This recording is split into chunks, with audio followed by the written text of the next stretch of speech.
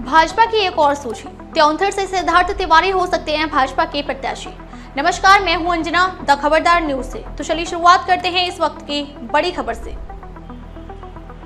विधानसभा चुनाव के लिए कांग्रेस एवं भाजपा ने रीवा एवं मऊगंज ज़िले की आठ विधानसभा सीटों के लिए चार चार प्रत्याशियों की घोषणा कर दी है। ऐसी स्थिति में कांग्रेस पार्टी द्वारा जारी की गई सूची में त्योंथर विधानसभा क्षेत्र से पंडित श्रीनिवास तिवारी के पोते सिद्धार्थ तिवारी प्रबल उम्मीदवार माने जा रहे हैं।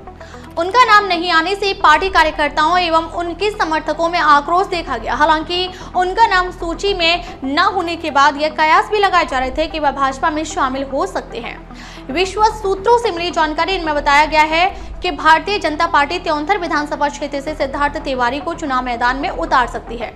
लगभग फाइनल है। गुड़ विधानसभा बताया गया है कि त्योंथर मनगवा से जिला पंचायत उपाध्यक्ष प्रणव गुण एवं सेमरिया की जिन चार सीटों से प्रताप सिंह को पार्टी मैदान में उतारने के लिए भाजपा के शीर्ष नेताओं का मंथन का मन बना चुकी है, मनगवा चल रहा था। उसमें लगभग अंतिम विधानसभा से विधायक पंचूलाल मोहर लग गई है। बताया गया है कि प्रजापति की भी टिकट कर सकती है। सेमरिया विधानसभा से जहाँ वर्तमान उनके स्थान पर नरेंद्र प्रजापति को विधायक के पी त्रिपाठी का टिकट प्रत्याशी बनाया जा सकता है।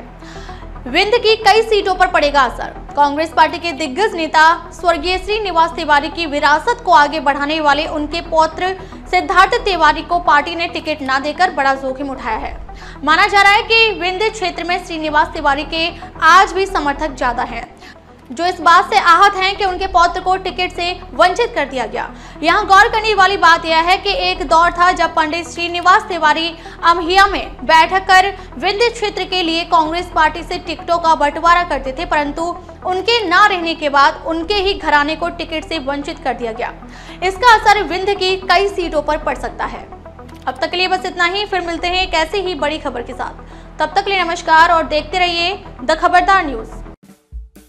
अगर आपको वीडियो पसंद आई हो तो वीडियो को लाइक करें, शेयर करें और हमारे चैनल को सब्सक्राइब करना ना भूलें।